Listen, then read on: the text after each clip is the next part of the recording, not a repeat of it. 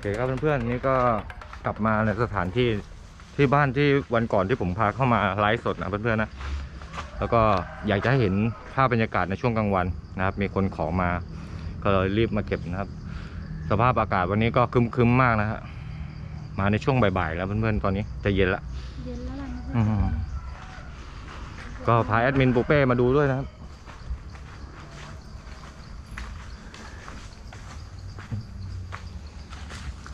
ลูกมะกรูดเหรอ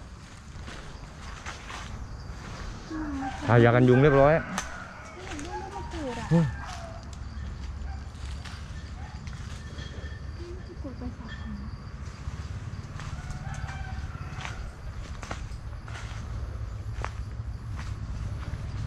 ขออนุญาตนะครับ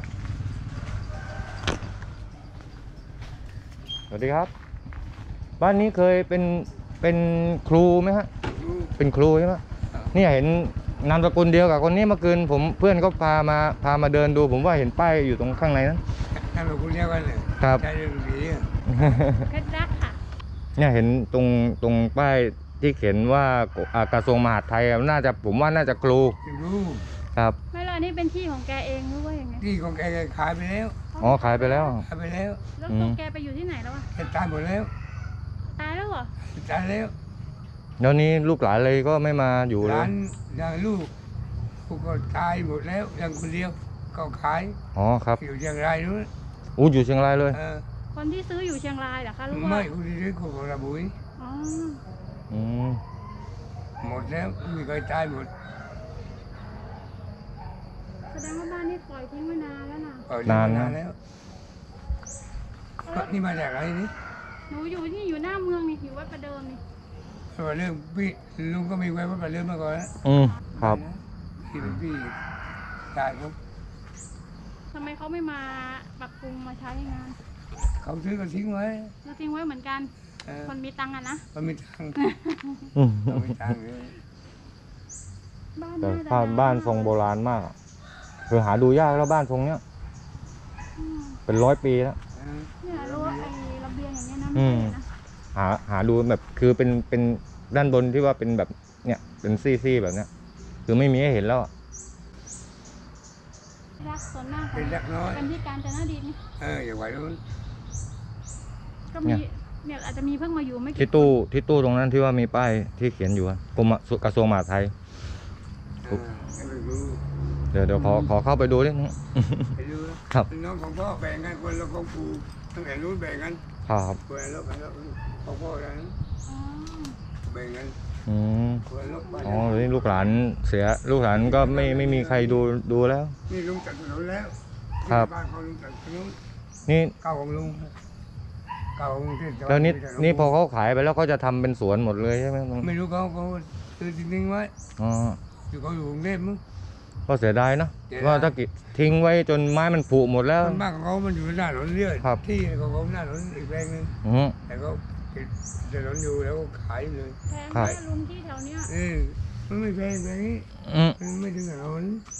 บางของเขากั้นไว้บาทได้ตอะกไรไรกี่บาท แต่ไม่แพงไม่แพงนี่อยากรู้ ไม่แพงสองล้านบางร้านไม่แพง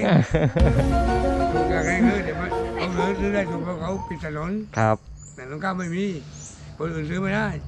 อืม อ๋อเพราะว่ามันไม่มีที่เข้าถนนไม่เลยได้เจ้าของด้านถนผมนข้าซื้งอหน้าก็เลยซื้อ ซื้อนะ ครับจริงๆใกล้กับใครแพงอันนี้อ๋อขายไม่ได้ถูกเพราะว่ามันไม่มีถนนใช่เดี๋ยวไหมไม่มีคนแล้วก็รีบขายเลยนะที่ครัตาบ บอดที่ตาบอด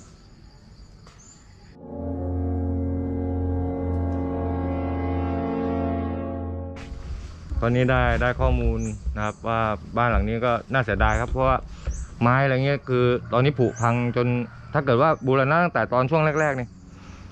คือผมคิดว่าไม้พวกเนี้ยก็ยังอยู่ได้อีกนาน เนี่ยพอปล่อยทิ้งไว้ก็คือผุผุแล้วคราวนี้ก็คือยาวเลย ต้องรื้ออย่างเดียวแล้ว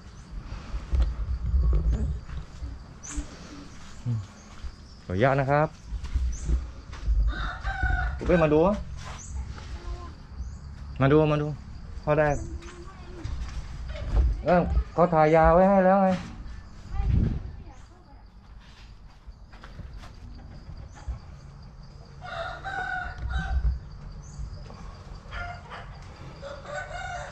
นุญาตนะครับเอ่อ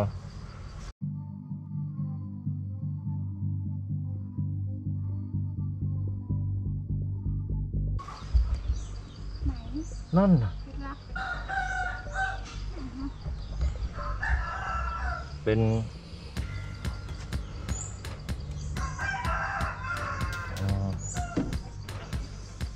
กรมการตกพอง นี่ไงมีมีรูป มีรูปอยู่ด้านบนบ้านมีที่ตรงขอืมลงข้างบนดูเว้ยรูปอยู่บนบ้าน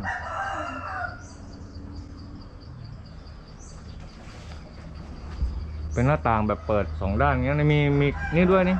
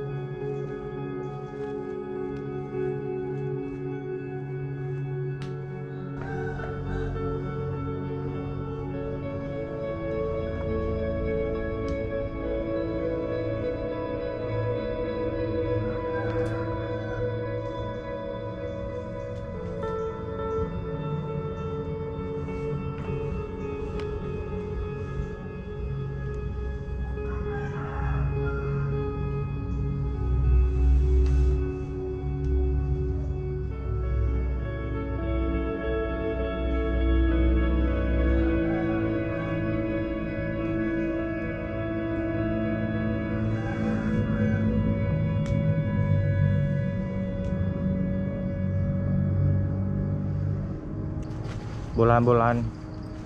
ไม่อยากให้ศูนย์สลายปลูกสลาย หายไปอืมเข้าใจละนี่ต้นอะไรนะหึสอนไปปลูกได้ไหมปูปูต่าง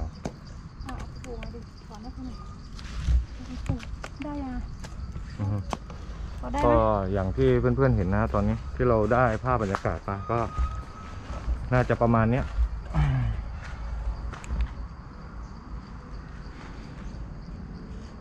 นั่นะมีปฏิทินอยู่ตรงนั้น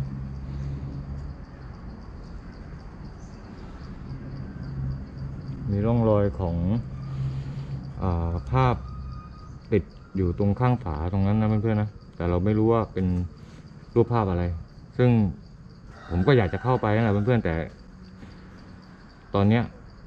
การที่จะเข้าไปในสถานที่สถานที่หนึ่งเนี่ยจะต้องขออนุญาต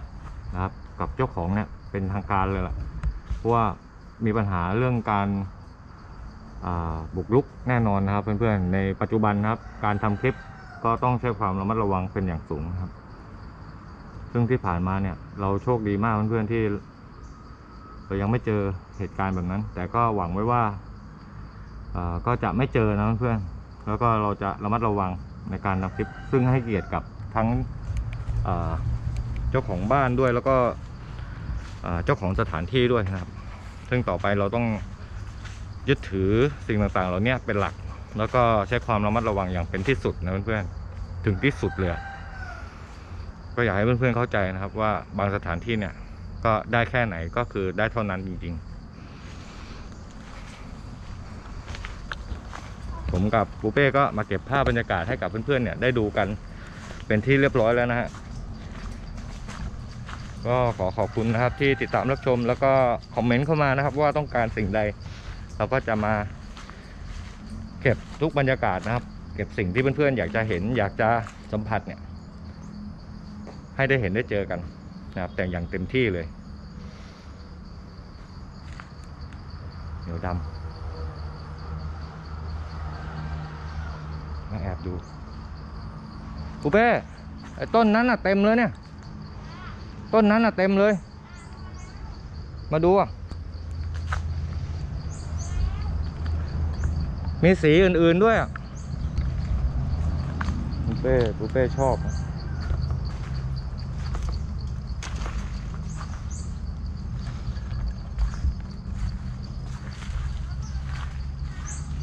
อเค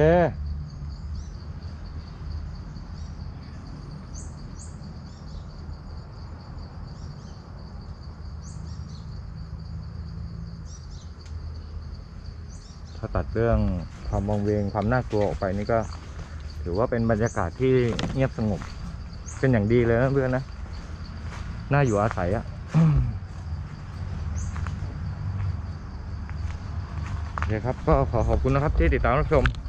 เราสองคนก็เดี๋ยวพาเพื่อนๆไปเจอกับในสถานที่อื่น ๆต่ออีกนะฮะพบกันคลิปหน้าครับแต่วันนี้เราสองคนต้องขอตัวลาไปก่อน สวัสดีครับ พูดน้อยนะ มันน้อย